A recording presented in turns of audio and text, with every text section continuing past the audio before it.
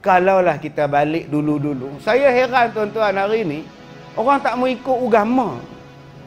Dan orang letakkan orang agama ni tak tahu di mana pun.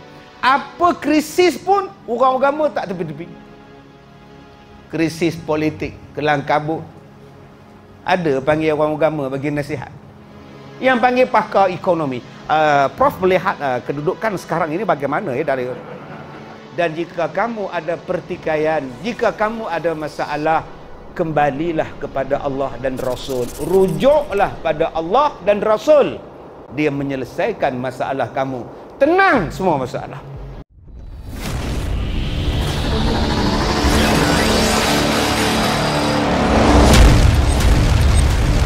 Tuan-tuan yang dirahmati Allah. Bila sebut tentang dia yang menurunkan ketenangan. Allah yang berikan ketenangan. Maknanya, kita buat cara yang Allah Ta'ala reda. Tenanglah. Tuan-tuan, kita dah sembahyang maghrib. Apa rasa sekarang? Apa rasa sekarang sembahyang maghrib? Tenang. Cuba belum sembahyang. Tuan-tuan naik bas. Driver bas belum berhenti nak sembahyang kita sewa bah rombongan. Dah pukul dah pukul lapan setengah bah ni tak berhenti lagi driver ni. Oi driver bila nak berhenti? Belum sembahyang maghrib. Hati tak tenang. Dia kata kita buat jamak. Jamak takhir bila dah solat lega rasa tuan ini orang yang ikut perintah Allah dia akan lega. Orang yang tak ikut perintah Allah dia susah hati. Ni tuan-tuan sekarang ni tutung aurat. Tenang Kak Leah, Kak Tipah, Kak Tijah tutung aurat. Tenang hati. Bayangkan orang pakai skirt. Nak duduk pun tak tenang. Tekangkang kan orang ambil gambar pula. Ha, tu selak kain kang, angin tiup. Tak senang duduk. Nak duduk susah, nak berjalan susah sebab pakai skirt. Tapi makcik-makcik pakai jubah, dalam jubah ada seluar panjang pula, lompat parit pun boleh. Allah Ta'ala dia buat sesuatu undang-undang supaya kita rasa tenang. Tadi Tuan Nazir sebut, tak lama lagi kita nak sambut Ramadan. Siapa-siapa yang nak taja orang iftar, buka puasa. Siapa-siapa yang nak buka puasa, nak taja orang, mainlah taja di masjid kita. Kita tengok orang buka puasa tu kita rasa apa? Malam ni kita yang menaja jamuan iftar, jamuan buka puasa. 300 orang duk buka puasa dekat kaki lima masjid. Allah, kita duduk dalam kereta. Tengok orang makan tu kita rasa seronok. Tenang. Suami isteri duduk dalam kereta. 300 orang ada tu leha. Makan jamuan kita malam ni Alhamdulillah. Tu yang abang tak puasa tu. Oh sudah. Sebab abang dapat 300 pahala buka puasa. Isteri kata apa yang malam nasi aku ni. Aduh, abangnya tenang, awak tak tenang kata dia. Aku tak tenang lah tengok lelaki bodoh macam ni. Dia tak puasa, macam mana nak letak pahala puasa dia? Kita menaja orang berbuka puasa, kita tengok orang makan tu pun tuan-tuan, kita rasa tenang. Bila kita buat sesuatu benda yang Allah Ta'ala suruh buat, tuan-tuan akan rasa tenang. Tuan-tuan dah habis umrah. Ambil gunting kecil, gunting rambut, gunting rambut. Kemudian gunting pula rambut isteri pula. Baca doa, Ya Allah, Ya Allah, Ya Allah. Apa rasa? Rasa tenang. Seronoknya tuan-tuan. Sebab itu kalau nak dapat ketenangan, apa jalan dia? Ikut jalan yang Allah Ta'ala suruh ikut. Surah Al-A'raf ayat 3. Ittabi'u ma unzila ilaikum min rabbikum wala tattabi'u min dunihi awliya. Qalilan ma tazakkarun. Ikutlah kamu jalan-jalan yang telah Allah turunkan kepada kamu. Jangan ikut jalan lain. Tapi sayang sedikit sangat daripada kamu yang mengambil peringatan. Rupa-rupanya tuan-tuan dalam banyak-banyak ni kata Allah yang nak ambil jalan untuk ikut jalan Allah ni kata Allah sikit qalil sikit ya. Mudah-mudahan kita termasuklah yang sikit. Mudah-mudahan kita termasuk dalam golongan sikit. Golongan yang ambil peringatan Allah ni kata Allah tak ramai pun. Ramai apa? Ramai tak nak ikut. ah, ini tak payahlah ini ini tak payahlah dia tak nak ikut awal-awal lagi dah nabi cakap kalau ada penyakit yang boleh membawa wabak macam taun yang dalam kampung tu jangan keluar. Dan orang luar jangan masuk dalam kampung tu. Supaya penyakit tadi tak menular. Beribu tahun lepas nabi cakap. Nabi cakap berapa lama dah tuan yang duk di situ duk dia diam situ jangan keluar yang di luar jangan masuk datang kepada kita penyakit macam-macam ni tuan-tuan Wuhan lah corona lah Sekejap-kejap tukar nama saja. Lepas ni tak tahu tukar nama apa pula. Kita kata tak apa, belum berbahaya. Boleh, boleh, boleh. Tak apa, tak apa. Boleh datang, boleh datang. Sila, sila, sila. Ha, sekarang, nak sembahyang Jumaat pun susah. Kalaulah kita balik kepada agama Allah dulu-dulu, tenang nak kita? Tenang. Masalah kita hari ini nak sembahyang, tak tenang. Nak bersalam, tak tenang. Elok nak tak, eh tak boleh. Begini pula tuan-tuan. Dah suelok dah tangan tu. Oh, begini pula kata dia. Astaghfirullahalazim. Salam pun tak tenang dah sekarang. Kalaulah kita balik dulu-dulu. Saya heran tuan-tuan hari ni. Orang tak mau ikut agama. Dan orang letakkan orang agama ni tak tahu di mana pun. Apa krisis pun orang agama tak tepi-tepi. Krisis politik, kelang kabut. Ada panggil orang agama bagi nasihat yang panggil pakar ekonomi. Uh, Prof melihat uh, kedudukan sekarang ini bagaimana ya dari tanya pula pada orang yang sains politik. Uh, Prof melihat keadaan kita. Cuba tanya pada ulama uh, boleh tuan bagi tahu apa solution yang terbaiknya daripada sudut agama. Bincanglah. Barulah rasa tenang politik. Panggil orang politik nasihat, dinasihatkan oleh orang agama. Agama menasihatkan. Ad-dinun nasihah, bukankah agama itu nasihat? Setiap satu jalan penyelesaian ada di dalam Quran. Dalilnya apa? Ya ayyuhallazina amanu Allah. Wahai orang yang beriman, taatlah kamu kepada Allah, taatlah kamu kepada Rasul. Wa ulil amri minkum, fa in tanaza'tum fi syai' farudduhu ila Allah war Rasul.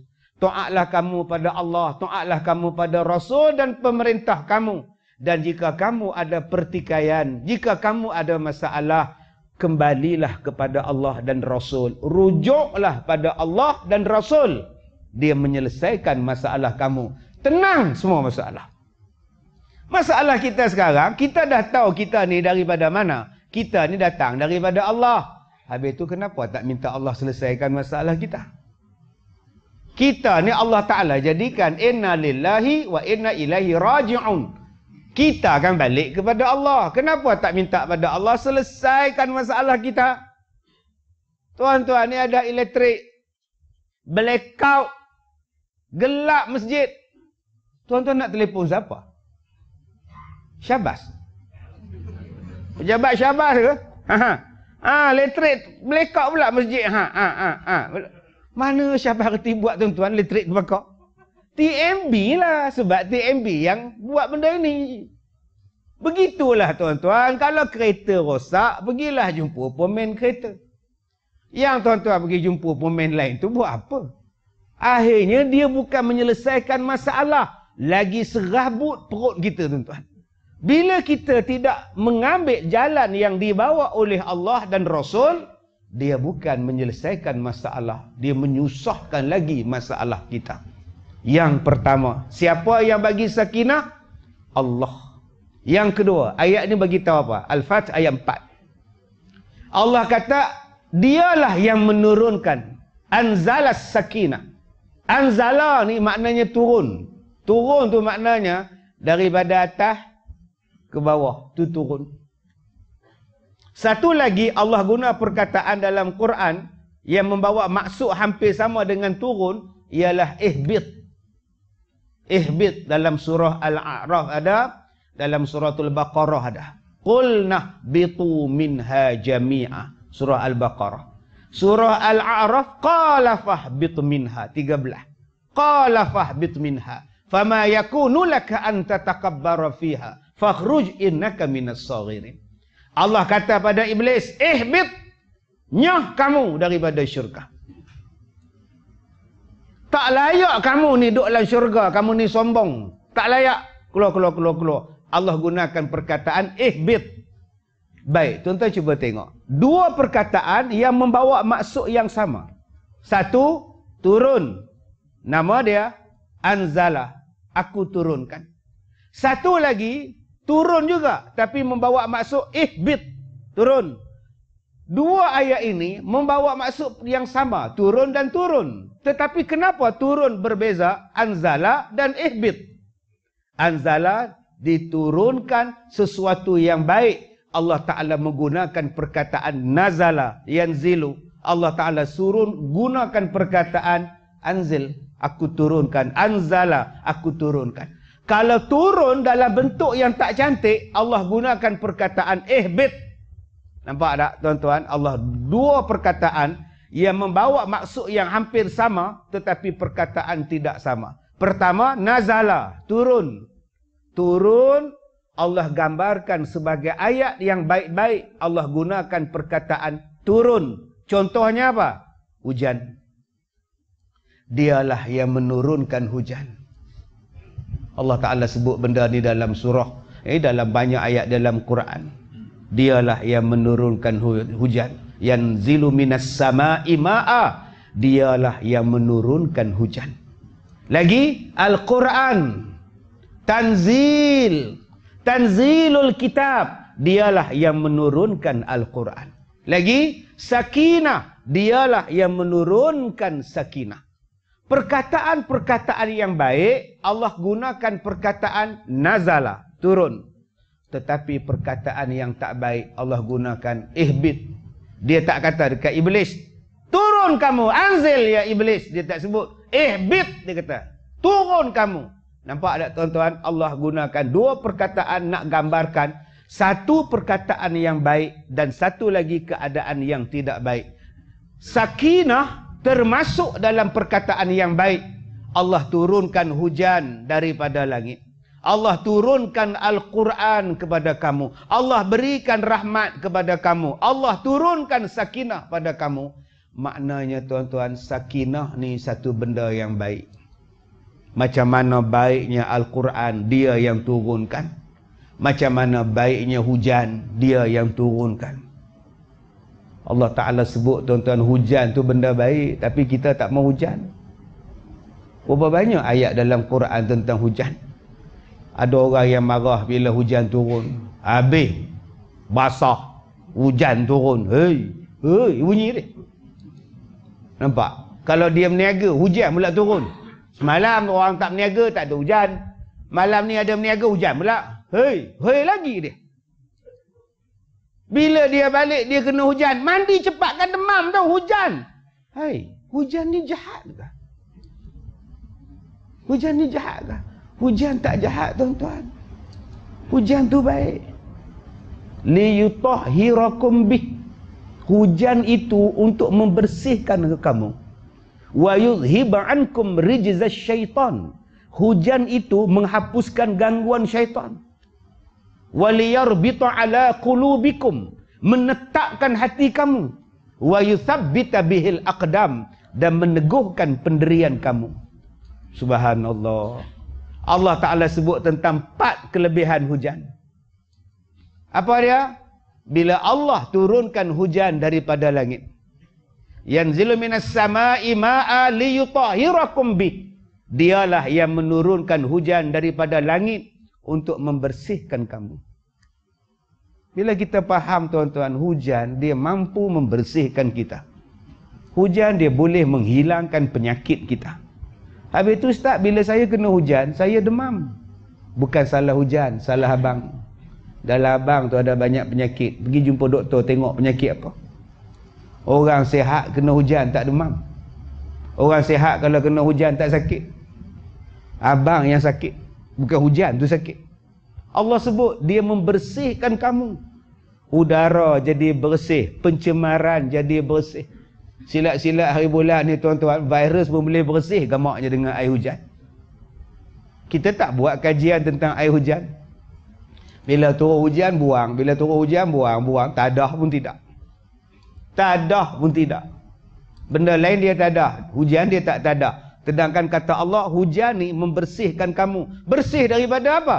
Udara bersih, alam bersih, sungai bersih, pokok bersih. Kita pun bersih. Minuman kita pun bersih. Tetapi Pak Saya orang putih cakap, jangan minum air hujan. Dia ada asid. Kilang banyak asid. Kau makan kan, badan kau ada asid, cari perut kau. Semua orang tak nak minum hujan. Sebab dengar cakap orang putih. Allah kata, aku turunkan hujan nak bersihkan kau. Jadi tuan-tuan tolong buat kajian. Kok-kok mana nak tahu kok coronavirus ni ubat dia air hujan ni. Yang duk pening kepala apa vaksin, apa vaksin, apa vaksin. Kesian kita tengok orang yang duk cuci, orang yang duk bersih. Nurse, doktor, pekerja-pekerja kesihatan. Udah pakai baju macam angkasawan tuan-tuan. Susah hati kita tengok dia. Kadang-kadang tuan-tuan petua dia cukup mudah. Sebab Allah kata ada dalam Quran. Dialah yang menurunkan Al-Quran sebagai ubat dan rahmat. Bukankah benda itu disebut oleh Allah dalam Quran? Wa nunazzilu minal Quran. Dan dialah yang menurunkan Quran. Kamilah yang menurunkan Quran sebagai ubat. Shifa'un wa rahmah. Sebagai ubat dan rahmat. Sayang tuan-tuan. Depan mata kita ada Quran. Kita tak nampak. Atas kepala kita ada hujan. Kita biarkan dia berlalu. Yang kedua kata Allah. Dia menjadikan hujan. Untuk menghilangkan gangguan syaitan. Gangguan syaitan. Wa yudhiba'ankum rijza syaitan. Tuan-tuan, perubatan yang paling bagus ialah mandi air hujan. Tuan-tuan di sini ada gangguan, ada sihir. Anak tuan-tuan tu tak tenang. Jadi susah hati.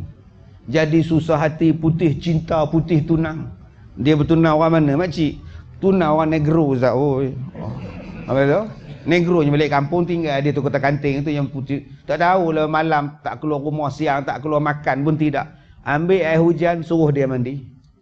Sebab Allah kata waliyarbita ala qulubikum air hujan itu menetapkan hati kamu, meneguhkan hati kamu dan dia meneguhkan kedudukan kamu. Wa yuthabbita bihil aqdam. Tulang belakang kamu, kaki kamu, kedudukan kamu akan teguh dengan hujan. Subhanallah. Sebab itu saya katakan tadi, bila Allah gunakan perkataan anzala, kamilah yang menurunkan, akulah yang menurunkan, kamilah yang menurunkan. Maknanya tuan-tuan, benda tu sangat baik. Kenapa hari ini manusia jadi banyak masalah? Jawapan dia sebab dia tak dapat sakinah. Dia tak dapat kebahagiaan. Kenapa dia tak dapat kebahagiaan? Bila tak dapat kebahagiaan, apa jadi? Rumah tangga bercerai. Kahwin dua bulan. Duit kenopi pun tak habis bayar. Habis cerai lah. Lah, duit wedding planner pun tak habis bayar bercerai. Kenapa? Tak bahagia. Datang masjid pun tak seronok. Sebab apa? Tak bahagia. Nak kata masjid tak ada aircon. Lapan aircon. Dah lah aircon tu lapan. Kipas pasang lagi. Tapi kenapa rasa panas? Rasa tak tenang. Sebab apa? Apa lagi? Isteri ada. Anak-anak ada. TV tiga kereta tiga. Apa tak tenang kau? Tak tahu. Saya pun tak tahu sebab apa saya tak tenang Ustaz. Tapi saya tak boleh. Saya tak boleh Ustaz. Maka dia pun cari ketenangan. Pergi ke Langkawi. Tadi ada syarikat, dua syarikat pelancongan telefon saya. Nak minta buat kerja sama. Kenapa?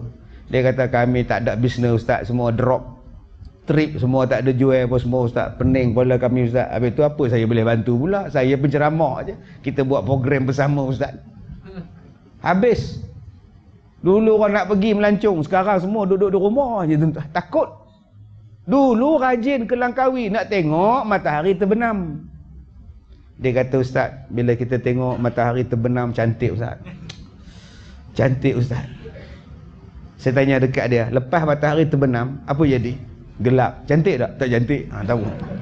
Manusia dia suka cari benda yang cantik tapi sekejap. Seronok cuma sekejap. Kadang-kadang manusia dia suka cari benda yang cantik tapi tak boleh dipegang. Benda yang cantik duk memuja pelangi. Cantiknya, cantiknya, cantiknya. Pegang tak dapat. Tapi itulah yang manusia kejar. Dia tak mengejar kecantikan yang kekal abadi. Bagaimana Ustaz? Kenapa saya tak tenang? Saya ada segala-galanya. Nombor satu. Semayang. Semayang. Semayang. Semayang. Uh, tapi kadang kadang tak semayang juga. Ha, nampak? Mula-mula cakap semayang. Tapi kadang-kadang tak semayang juga. Jawapan paling mudah. Kenapa tak tenang? Kenapa hilang sakinah? Jawapannya sebab tak semayang. Nombor satu. Kita harapkan menantu kita ni jaga anak kita. Tapi tiap-tiap hari anak telefon menangis. Anak telefon menangis. Kita tidur malam pun tak boleh. Begini suami isteri duk fikir. Macam mana anak kita bang? Macam mana anak kita bang? Sebab apa? Awak pilih menantu hari itu. Awak pilih sebab apa? Sebab dia kerja tetap. Sok-sok ada. Perkeso ada. Perkosa pun ada ustaz. Pencin pun ada ustaz. Oh awak bukan pilih sebab agama. Tak, tak, tak ada lah tanya pula kan. Tapi tengok kerja tetap lah kan. Kereta pula Honda okey lah kata dia. Kan awak nampak Honda. Biar awak tak nampak Myvi. Awak cuma nampak yang material. Awak tak nampak solat. Bukankah solat? Yang bagusnya solat. Tapi ustaz, menantu saya semayang. Anak saya cakap dia semayang. Cuma tak cukup. Subuh lepas. Maghrib sangkut. Sebab sangkut dekat jam. Sampai rumah pukul 9 ustaz. Memang terlepas maghrib. Tapi isyak buat. Zuhur buat kat ofis. Asal pun buat kat ofis. Cuma subuh dengan maghrib ustaz. Tak cukup. Itulah nama dia sahun fawailul lil musallin allazina hum an salatihim sahun semayang semayang tapi tak cukup koram itu makna an salatihim sahun janganlah tuan-tuan bayang pula qad aflahal mu'minun allazina fi salatihim khashi'un yang khashi'un Allah gunakan perkataan fi untuk sahun Allah gunakan perkataan an Hari ini golongan hakikat, tarikat, makrifat semua ni tersilap fahamnya ni lah. Akhirnya terlipat, tak payah semayang. Inilah dia. Belajar tak nak, bersih, tak nak belajar. Main belajar ikut suka akal. Berjayalah orang-orang yang berjaya. Telah berjayalah orang yang berjaya. Siapa dia? Orang yang berjaya. Orang yang di dalam semayang dia khusyuk. Aku tak khusyuk, aku tak payah semayang. Sebab apa kau tak payah semayang? Fawailul lil musallin. Binasalah, celakalah bagi orang yang tak bagi orang yang semayang. Yang semayang mereka tu main-main. Ha nampak? Sebab tu aku tak semayang, aku tak khusyuk, tadi celaka. Jauh tu pak cik. Ayat pertama Allah gunakan perkataan fi solatihim khashi'un. Orang yang berjaya ialah orang yang di dalam sembahyang dia khusyuk. Maknanya khusyuk tu benda di dalam. Bila? Waktu semayang. Sebab itu Allah gunakan perkataan fi. Dalam semayang tu khusyuk. Allahu Akbar. Dia khusyuk semayang dia. Tangan tak bergerak.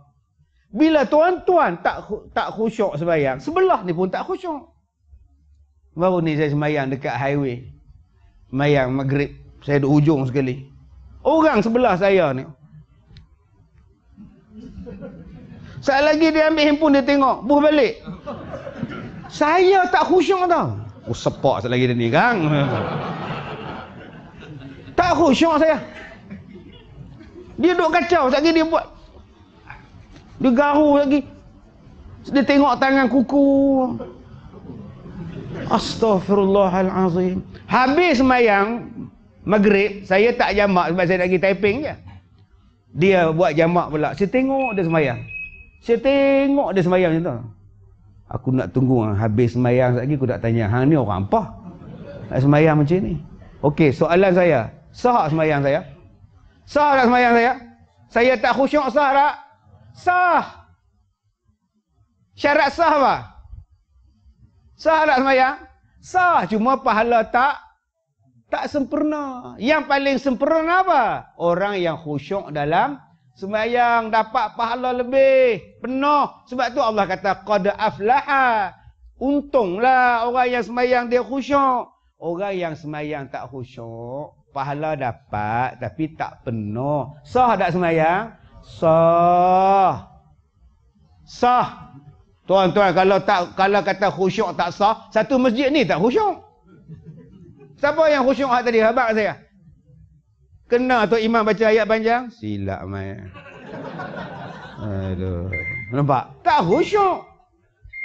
Sebab itu, yang itu di dalam solat. Kalau kau tak khusyuk sekalipun, kau cubalah bagi khusyuk. Kalau tak boleh khusyuk, nak buat macam mana? Nak buat macam mana, tuan-tuan? Nombor satu. Tetapi perkataan sahun Allah tak gunakan perkataan fi. Allah gunakan perkataan an. Antara padanya, daripadanya, an salatihim. Pada sembahyangnya. Daripadanya. Allah tak guna fi. Maksudnya apa? Dia sembahyang, tapi sembahyang tak cukup. Sia-sia sembahyang dia. Saya empat saya buat Ustaz. Empat waktu saya buat. Subuh memang saya kalah Ustaz. Subuh memang saya surrender Ustaz. Kenapa tak boleh bangun subuh? Saya meniaga Tom Yang Ustaz. Pukul tiga pagi pun tak tutup lagi kan. Balik orang pukul lima memang lentok lah Ustaz. Walaupun kau buat empat waktu, tapi satu awak tinggal, habis. Itu nama dia sahun. Yang kedua, apa makna sahun? Semayang, semayang. Nun di hujung waktu. Lapan setengah baru semayang maghrib. Sebab tengok drama pukul tujuh. Makcik duduk semayang maghrib pukul lapan setengah. Tengok drama. Suamiku sotong, isteriku udang. Habis pukul lapan tengok berita siapa. Siapa pula jadi menteri besar ni. Siapa pula tunggu berita. Lapan setengah baru maghrib. Habis sembahyang maghrib, orang sembahyang isyak, bang isyak. Azan isyak. Assalamualaikum warahmatullahi Assalamualaikum warahmatullahi Allahu Akbar, Allahu Akbar. Ya Allah. Baru sembahyang maghrib dan isyak. Allah nak kiamat dah, Ya Allah. Cepat sungguh masa berlalu. Kepala otak hang. Masuk 7.29, hang sembahyang 8.29. Hang kata masa berlalu dengan pantasnya. Patutlah tahun ini Ramadan akan datangnya dukhon kata dia. Tak kena mengena lah. Orang yang cuai dalam semayang tadi sahun. Dia semayang-semayang. Di awal waktu dia tak buat. Lah-lah waktu. Main-main, tidur dulu, main handphone dulu, tengok televisyen dulu. Ini maknanya sahun. Yang ini yang kata Allah, binasalah engkau ni semayang tak guna. Tak ada makna semayang kau. Sebab itu jiwa tak tenang. Kenapa jiwa tak tenang? Tadi saya cakap sebab tak solat. Nombor dua, kenapa jiwa tak tenang? Sebab bila kita semayang ni kita sia-siakan. Semayang di akhir waktu. Semayang ni main ala kadar. Tuan-tuan pernah tengok orang semayang pakai seluar Hawaii. Ini untuk tuan Arab main Malaysia ni. Hak laki, hak isteri pakai purdah. Hak laki pakai seluar Hawaii main semayang dekat R&R. Dia kata, Ustaz, lebih pada lutut memang lebih cuba hang rukuk cuba hang duduk di antara dua sujud nampaknya ni nampak paha ni eh, dia mungkin mazhab lain ustaz tak apalah mazhab dia punya pasal lah. Yang hang ikut dia pasal apa? Eh, saya pun ikut mazhab dia. Ha, nampak tak tuan-tuan. Bila nak jadi tenang ni tuan-tuan? Kalau kita semayang ni sahun jadi yang celaka semayang ni yang mana? Yang hak nombor dua dia bukan maksud orang tak khusyuk. Macam mana nak jadi khusyuk hati kita? Pelan cubalah cari jalan. Sebab tu Nabi ajar pada kita macam mana cara nak khusyuk. Selesaikan dulu perkara dunia sebelum nak semayang. Setengah jam sebelum masuk waktu tu tutup dah TV dah mandi dah dah zikir dah duduk di masjid dah semua dah. Ini macam mana nak khusyuk? Sambil nak semayang Jumaat main WhatsApp dulu tengah tu imam baca khutbah main whatsapp dulu macam mana nak khusyuk tutuplah handphone tu tumpulah macam mana nak khusyuk? Makanan dah siap tapi tak makan. Nazir umum pula uh, kepada semua jemaah sila makan kurma sahaja uh, sebab jamuan iftar akan dimulakan selepas maghrib. Tolong makan kurma dan minum air sahaja ya. Tolong ya jemaah ya. Padahal nasi lauk semua dah hidang. Ayam masak rempah ayam masak hitam daging masak oren semuanya ada belaka tuan-tuan main semayang maghrib soalan dia khusyuk yang tak khusyuk belakang sekali Sik baik aku duduk belakang. Habis-habis salam kena keluar awal lambat lebuh kata dia. Yang menyesal sah depan. Silap tu kat depan aduh. Ramai lah pula malam ni aduh. Yang paling khusyuk tu imam. Takkan dia orang tak simpan kat aku. Subhanallah. Sebab tu Nabi kata bagi clear lu. Yang mana nak kencing, yang mana nak berak, pergi tandas lu. Yang tahan kencing buat apa? Abang, pilah kencing dulu kan nak sembahyang. Tak apa, tahan lepas maghrib kan aku kencing. Kena pula tu Imam Al-Hafiz. Satu muka, satu rakaat. Wah, bang Syiril. Ah, oh, sudah tuan-tuan. Air kencing dah hujung-hujung lah sekarang ni. Kan dah tangkau tu tak khusyuk dah sembahyang. Sebab tu selesaikan dulu. Barulah khusyuk. Tuan-tuan yang dirahmati Allah. Yang ketiga, bagaimana kita nak dapat sakinah? taatlah kepada Allah. Buat amalan baik, sembahyang cukup, tenang kita. Puasa cukup, tenang kita. Ni bulan Ramadan nanti kita nak bayar zakat fitrah, bayar.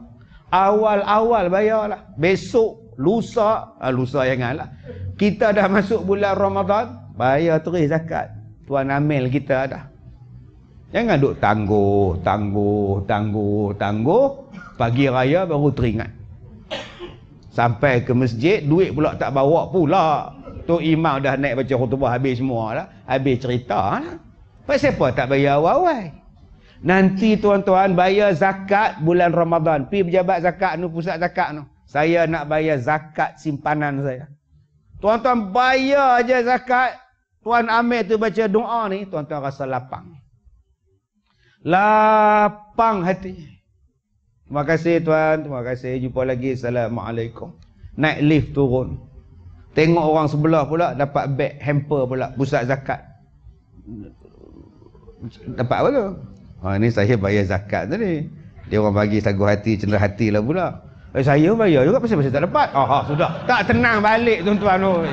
La ilaha illallah. Orang lain dapat dia tak dapat. Pegawai terlupa nak bagi dia punya maki bilik rumah tuan kita buat ibadat ni menjadikan kita tenang sonok tuan-tuan yang keempat bagaimana nak dapatkan sakinah jangan buat maksiat jangan buat maksiat Imam Ghazali kata bila orang tanya pada dia tuan kenapa saya susah bangun malam nak semayang malam macam mana cara nak mudahkan bangun malam jangan buat maksiat di siang hari kalau kau buat maksiat di siang hari, malam kau susah nak bangun beribadat. Jadi cuba kita tuan-tuan tengok. Kenapa kita susah nak bangun semayang malam? Cek balik. Pasal apa yang aku ni subuh selalu terlepas? Pasal apa aku ni berat nak semayang subuh? Azan pun dengar sampai ke rumah. Kenapa aku tarik selimut? Aku tutup muka aku tak boleh bangun. Cuba tengok balik. Siang tadi aku buat apa? Maksiat yang kita buat itulah tuan-tuan yang menghambat ketenangan dalam jiwa kita. Innal abda idza akhta'an khati'atan nukitat fi qalbihi nuktatun sauda. Hamba Allah ni kata Nabi, bila dia buat satu benda dosa, Allah tutikkan nuktah. Titikkan dalam hati ni dengan titik-titik hitam. Bila hati dia dah jadi hitam berkarat tuan-tuan, habislah. Orang macam ni habis. Sebab tu kita kena cuci balik hati kita cuci balik, bersihkan balik hati kita ni dengan taubat. Dengan kebaikan. Taubat ini Allah Ta'ala sebut dalam Quran. Taqwa ini Allah Ta'ala sebut dalam Quran. Ada kaitan ni tuan-tuan. Ada tiga darjat tentang taqwa ni. Allah Ta'ala sebutkan orang yang bertakwa dan orang yang beriman. Orang yang bertakwa dan orang yang beramal salih. Yang beramal dan kata Allah orang yang bertakwa dan melakukan kebajikan. Bila sebut taubat, kesempurnaan taubat. Yang nak jadi amanu wa amilus salihat. Ada tiga syarat. Pertama, bertakwalah daripada syirik kepada Allah. Nombor satu. Betul taubat. Bila engkau tak syirik pada Allah. Din, engkau dah tak tikam nombor dah seorang Din. Hm. Aku dah taubat. Sebab tak pernah kena pun buat apa aku tikam astagfirullahalazim dia tikam sebab tak pernah kena dia fed up tapi kalau ada rumbu bagus insyaallah lah itu belum taubat maka dia pun tak tikam nombor sebab kata dia dia taubat waktu dia angkat tangan aku dah taubat aku tak nak lagi tikam haram judi innamal khamr wal maisir wal ansab itu semua haram kata dia Tengok-tengok dekat tangan dia waktu dia angkat tangan ada gelang. Din, gelang apa tu Din? Eh dia tak ada apa. Aku dulu kena santau. Habis tu? Jadi bomo santau tu kata kena pakailah gelang ni. Sebagai pendinding lah. Betul kalau buang? Oh kalau buang sakit lah balik. Maknanya kau masih syirik. Engkau beranggapan bahawa gelang ni boleh menyelesaikan masalah kau belum bertaubat orang bertaubat dia takut pada Allah dalam masa yang sama dia tak akan buat syirik pada Allah nombor satu nombor dua kata Allah orang yang bertakwa itu darjatnya apa tak melakukan amalan-amalan yang bid'ah orang yang bertakwa dia tak buat benda-benda bid'ah yang bukan-bukan dia buat yang hu hara dia buat. Yang ini soalan yang kedua ni tuan-tuan orang yang dia tobat-tobat tapi dia masih lagi buat amalan yang bukan-bukan. Yang ketiga, tingkatan dia ialah dia bertakwa, dia bertaubat kepada Allah dengan syarat dia apa? Dia buat kebajikan. Wah, sanu. Dia buat kebajikan. Itu nama sempurna taubat kita dah datang bulan Ramadan ni tuan-tuan. Kenapa tak buat kebajikan dalam bulan Ramadan? Tiap-tiap tahun masjid kita buat tadarus dan tiap-tiap tahunlah kita tak masuk tadarus. Muka yang sama je masuk. Haji Dolah, Haji Imat, Haji Bidin, Pamat Tempe. Tahun ini kurang. Usin Lompok yang meninggal. Jom kita masuk ramai-ramai tadarus. Tapi ustaz, saya tak lancar. Tak apa, tak lancar pun tak apa, duduk dengar. Baca. Saya dah masuk ustaz. Dia orang marah saya. Siapa marah? Geng yang lancar. Bila saya baca dia orang tarik muka. Panjang. Falamma ja panjang empat rakaat. Itu yang malam kedua ustaz, ditengkingnya saya dengung. Saya iyalah tegur elok kan. Saya innal ladzina kafaru lah. Dimarah saya in dengung. Atau malam ketiga Ustaz saya baca kat belakang lah. Dengan siapa? Seorang-seorang lah. Oh, senang Ustaz baca seorang, tak ada siapa marah Ustaz. Betul semua Ustaz. Ha, eloklah nama dia tu. Memang betul semua, tak ada siapa tegur. Itu bukan tadarus, tu terderah nama dia. Jomlah kita masuk tadarus. Buat kebajikan. Saya tak boleh tadarus Ustaz. Saya tak lancar. Okey, pelan-pelan baca dengan isteri di rumah. Tapi apa kebaikan yang abang boleh buat? Saya nak sponsor majlis berbuka puasa. Berapa malam, Bik? Empat malam, Ustaz. Dua malam, Ustaz. Satu malam, Ustaz. Alhamdulillah. Dapat pahala. Tapi saya dah jumpa benda hari. Dia orang cakap, penuh dah, Ustaz. Tiap-tiap malam. Kalau gitu, abang ambil 10 malam terakhir waktu sahur. Sponsor lah. Buat nasi biryani, nasi Arab. Lepas mayang terawih umum. Besok kita akan sahur bersama-sama selepas sekian mulai. Jamuan malam besok, chicken mandi. Ha, sudah tuan-tuan. Tak muat masjid kita. Sponsor lah sahur 10 malam terakhir. Ambil kebajikan. Jangan lepas langsung. Orang yang berbuat kebajikan ni tuan-tuan, dia akan senang hati dia.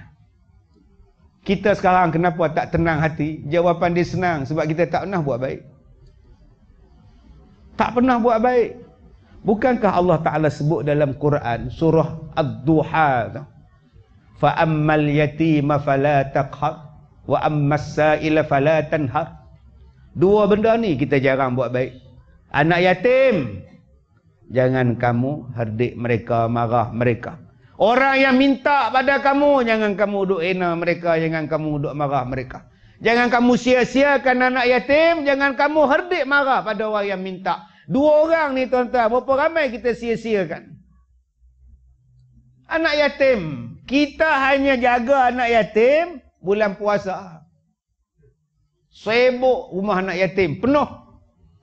Ha, kami nak ajar rumah anak-anak yatim ni buka puasa di rumah kami lah. Minta maaf encik, penuh. Takkan satu malam pun tak ada. Penuh encik, penuh. Kalau encik nak, lagi dua tahun. Ui, penuh. Ada orang yang sewa bas bawa budak-budak rumah anak yatim ke shopping mall. Okey anak-anak semua hari ni pak cik belanja, pak anak-anak belilah apa pun untuk pakaian raya, pak cik belanja. Tapi ingat tak lebih RM20 seorang. Menung budak-budak tu. Songkok saja RM19.90 sen. Hoi. Jangan sia-siakan, jangan abaikan anak-anak yatim. Sebab tu hati kita tak tenteram. Kita tak peduli pun. Di kampung kita ada anak yatim. Masjid kita ada tabung anak yatim. Tak pernah masuk. Jiran anak yatim. Tak pernah peduli. Allah tarik sakinah daripada kita. Bukankah Nabi kata usap rambut anak yatim saja pun dah dapat pahala? Itu yang datang jumpa saya. Sekolah saya ada 35 anak yatim. Dia kata ustaz, jiran saya sudah mati ustaz. Innalillah.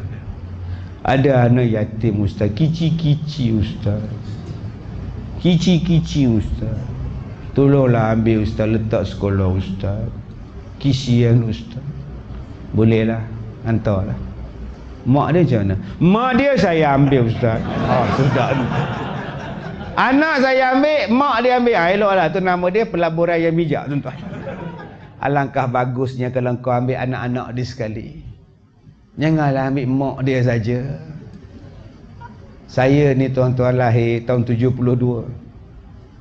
Bapa saya meninggal tahun 73. Saya anak ketujuh dari tujuh beradik. Kakak yang sulung 12. Saya 8 bulan. Anak yatim tujuh orang. Mak saya umur 40 tahun kahwin dengan satu lelaki umur 30 tahun. Muda 10 tahun bapak tiri pada mak dia ambil.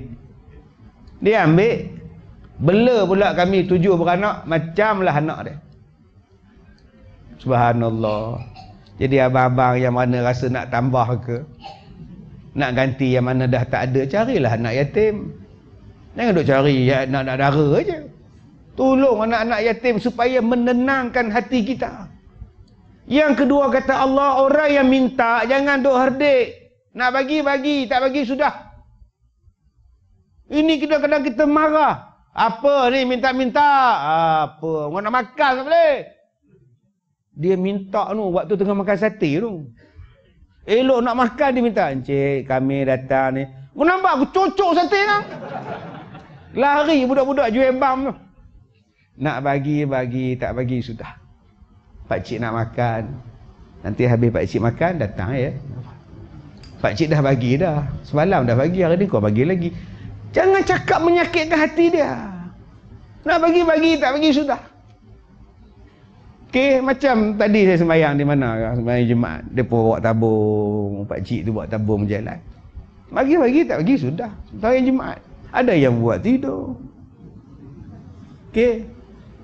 Kalau lah pak cik tu berhenti depan dia. Lama pula tuan-tuan. Tak bergerak lagi orang tua ni. Tadi. Allah, macam-macam hai tuan-tuan. Saya pernah jumpa satu orang. Dia bawa tabung jalan tu. Boleh berkomunikasi pula. Waktu khutbah tengah bercakap. Dia boleh komunikasi. Ni 50. Aku nak bagi 5 ringgit je. Bak balik 45. Oh, sudah tuan-tuan. Depan saya, belakang saya tuan-tuan. Ha. Waktu khutbah tu. Yang budak kutip tu pula dia OKU sikit.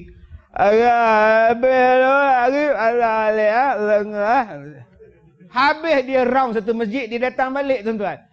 Pak lima. Astaghfirullahalazim tuan-tuan. Waktu khutbah. Habis mayang saya tanya tu imam, kenapa tak tegur imam? Dia orang rosak habis kita ni. Tak ada dalam teks. Ah oh, sudah tuan-tuan. Pening kepala kita tu pulanglah. Sebab tu imam ni dia berkhutbah, bukan membaca khutbah. Bila membaca memang tak ada dalam teks ke? Bila berlakon? Pak Mat, khutbah ni. Jangan cakap. Sebab tu setengah masjid sekarang dia tak kutip dah waktu khutbah. Dia kutip selepas semayang Jumaat, dia kutip sebelum semayang khutbah dia kutip. Waktu khutbah duduk diam-diam. Sebab kadang-kadang jadilah episod drama swasta macam tadi tuan-tuan pakat tu berkira belampai. Tak ke pening kepala kita tuan-tuan. Sebab itu saya minta pada tuan-tuan. Kalau nak rasa tenang, sedekah. Sedekah ni menenangkan. Berapa banyak ayat sedekah dalam Quran. Allah Ta'ala sebut dalam surah Ar-Ra'd. Ayat yang ke-22, 23, 24. Menenangkan jiwa tu sampai boleh masuk syurga. Dan sekarang kita akan hampir sangat-sangat dah dengan Ramadan. Bulan yang penuh dengan sedekah. Tuan-tuan nampak tak kipas angin? Okey. Tutup kipas angin ni biar dalam 5 minit kemudian buka balik. Kita duduk di bawah kipas. Bila buka saja tuan-tuan angin tu akan terasa pada kita lajunya angin ni cepat kita terasa Tuan-tuan tahu tak Rasulullah bila datang bulan Ramadan, Rasulullah bersedekah lebih laju daripada angin yang bertiup. Kenapa dia jadi macam itu? Saya cakap pada tuan-tuan, sedekah membersihkan hati. Sedekah itu membesarkan hati kita. Sedekah itu menjadikan hati kita ni tuan-tuan lembut. Sedekah itu menjadikan kita tenang. Sedekah ni menjadikan kita puas maka latihan yang paling cantik untuk bersedekah ialah Ramadan. Sedekahlah. Dia tekan tenang. Kita ada nazir, kita ada bendahari masjid, kita ada jatan kuasa. Tanya. Tuan Haji, bil elektrik berapa? Saya nak bayar. 2000. Ah tak apa tahun depan. tahun depan tu tuan-tuan. Tadi bukan main semangat lagi. Tak boleh bayar RM2,000 bagi RM20 RM20 darat dengan 100 selesai masalah. Bukankah Allah sebut mimma razaqnahum yunfiqun Allah minta sikit je. Tapi kalau sikit ramai-ramai bagi cukup tak? Allah kata mimma sikit. Bukan dia kata apa yang kami bagi ma razaqna. Dia kata mimma sikit saja tapi kalau pakat-pakat buat semua clear Tanya Tuan Haji, elektrik berapa? Ha, masjid kita elektrik sejak pasal ekon ni dia lebih sikit lah. Senyum dari itu. Saya sponsor. Berapa? Lima ribu. Lagi lima tahun kita dah. Saya pencin, saya bayar lah. Pasal apa? Kita buat tabung. Buat tabung saja. Seorang sepuluh ringgit. Jemaah kita ada RM2,000. Seorang RM10 sebulan. RM20,000. Clear. Kita buat tabung tuan-tuan. Berdaftar dengan bendahari. Tiap-tiap bulan selesai masalah. Transfer duit saya. Bank in transfer saja. Clear. RM10 daripada RM2,000 jemaah. Tenang hati. RM20,000 kita boleh dapat tuan-tuan sebulan. Selesai masalah kuliah. Selesai warga mas yang miskin selesai, janda ibu tunggal kita boleh bantu, anak yatim nak sambung belajar pun kita boleh bantu, apa pun kita boleh bantu. Selain daripada kita duk harap tabung Jumaat. Yang kita nak ialah sedekah. Sedekah itu saya cakap tadi menenangkan jiwa. Tuan-tuan, kita nak hampir dah dalam bulan Ramadan. Jom kita cari satu keluarga miskin. Yang susah dalam kampung kita bagi tahu dekat dia Kak Leha malam ni tak payah masak pukul tujuh saya jemput Kak Leha datang buka puasa di rumah saya bawa semua anak-anak datang anak dia datang Kak Leha janda ni makan Kak Leha buka baca doa semua bukan Habis makan tapau pula. Ni untuk sahur. Allah tuan-tuan. Apa Kak Leha akan cakap? Dia balik rumah. Dia tadah tangan. Ya Allah. Ya Allah. Husin Lempoyang tu sedekah pada kami ya Allah. Panjangkanlah umurnya ya Allah. Panjangkanlah umur isterinya ya Allah. Murahkanlah rezeki mereka ya Allah. Yang kita nak ialah doa. Doa itulah yang tenang. Kita bukan minta dia nak balas pada kita. Kita bagi dekat dia mangkuk tingkat. Ambillah Kak Leha ni masak tak payah masak dah sahur kan. Ada empat lauk masak masak masak. Ah ni nanti besok pulangkan balik mangkuk tu ya. Kalau boleh balas lah. Ada kita minta tuan. Kita tak minta balasan. Yang kita nak satu je dalam hati kita. Dia tolong doa pada aku pun syukur. Kenapa kita tengok orang ni murah rezeki? Kenapa kita tengok keluarga dia bahagia? Anak-anak dia sejahtera? Dia pun tenang saja? Jawapan dia mudah. Dia banyak tolong orang. Dan Allah bagikan ketenangan. Dan yang terakhir tuan-tuan. Cuba tengok muka Tok Imam. Cuba tengok muka Tok Siap. Cuba tengok muka Tok Bilal. Apa yang tuan-tuan nampak dengan mereka ni? Cuba tengok orang yang duduk di sah yang pertama. Tiap-tiap waktu datang semayang berjemaah. Saya kalau tengok dia orang ni tuan-tuan. Saya tengok tenang. Tok Bilal tu. Relax. Ambulans lalu ke apa tak lalu. Dia kerja dia bang je tuan-tuan. Orang yang paling tenang. Cuba tengok Tok Siap. Tok Siap tenang. Nyanda kat dinding. Nyanda dinding dengan ceramah. Saat lagi semua kita balik, Tok Siap belum balik. Dia paling lewat balik. Dia buka baju Melayu dia, sangkut kat paku. Buka kain pelikat, sangkut kat paku. Tinggal boxer je, duk basuh pinggan. Tenang nak hidup dia. Apa rahsia tenangnya ahli-ahli masjid ni? Apa rahsia? mereka solat berjemaah. Mereka jadikan masjid ini kecintaan mereka. Sebab tu tuan-tuan akan nampak ketenangan. Saya kalau jumpa tu imam 20 tahun, 30 tahun, 15 tahun jadi imam. Apa saya minta? Imam tolong doa untuk saya. Bila tolong doa untuk saya. Siap tolong doa untuk saya. Sebab mereka lah orang yang paling awal semayang. Mereka lah yang menjadikan semayang fardu berjemaah di masjid kita ni menyelamatkan seluruh kampung kita daripada dosa. Dengan sebab mereka semayang berjemaah. Maka Allah takdirkan pada mereka, Allah turunkan sakinah pada mereka. Kalau tuan-tuan nak rasa sakinah, inilah tempat dia. Di manakah aku mencari sakinah? Inilah tempat dia. Masjid. Bukan kedai karaoke. Bukan tempat golf. Golf ni untuk sukan. Bukan kedai tom yam bukan kedai nasi kandar. Duk tengok Liverpool. Menang tak apa kalau kalah bukan. Di sini di sinilah tuan-tuan. Dan untunglah tuan-tuan. Tuan-tuan ini menjadi ahli masjid. Ambil wuduk Allah hapuskan dosa. Berjalan masuk dalam masjid setiap langkah naik darjat. Tuan-tuan semayang malaikat amin sama-sama. Subhanallah. Apa yang tuan-tuan amin malaikat amin. Tuan-tuan doa malaikat amin. Tuan-tuan semayang malaikat amin jadi tuan-tuan kalau nak rasa sakinah jom kita imarahkan masjid sebab Allah Taala sebut innama ya'muru masajidallah man amana billah wal yaumil akhir. Jadi tuan-tuan yang dirahmati Allah, saya minta maaf saya nak habis awal sebab saya ada rakaman TV di Astro tuan-tuan sepatutnya pagi tadi ditunda pula jam 9.30 malam. Saya cadang nak habis pukul 12 malam ni. Tapi Pak saya Astro minta paksa tunda daripada pagi tadi sepatutnya pukul 9 sampai pukul 12. Tukar pukul 9.30 sampai 12 malam baru habis rakaman. Rancangan baharu saya nama dia Al-Kazim. Ada 13 episod. Jadi insyaAllah tuan-tuan saya minta maaf pada Nazir minta maaf pada semua. insyaAllah saya dah ceramah dah 30 tahun. Ini kali pertama saya datang sini Jadi kalau nak jemput lagi 30 tahun daripada sekarang insya-Allah. Minta maaf jika terkasar bahasa. Baik untuk coronavirus ni ada dua doa yang saya nak ajar pada tuan-tuan.